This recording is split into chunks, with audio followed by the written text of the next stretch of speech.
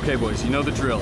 Intel says this is the area from which Iraq are launching their Scuds at Israel. We'll be inserted covertly by helicopter and make our way down the cliffs to this box camp. We'll start our search there. Okay, saddle up. Let's go. Start!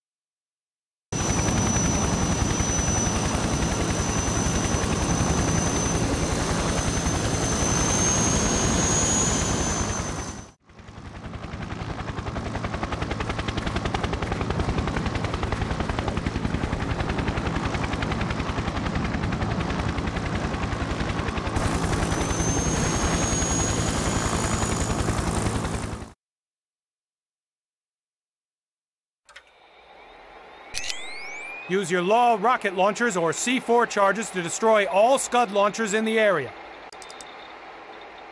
Ensure that all Scud missiles are eradicated by destroying any Scud support vehicles you encounter. Locate and destroy any self-propelled anti-aircraft guns operating in this area. This will ensure Allied air superiority. Destroy the signal booster system that powers the communication landline that runs parallel to Highway 10. Ensure its complete destruction by destroying the computer systems inside the bunker.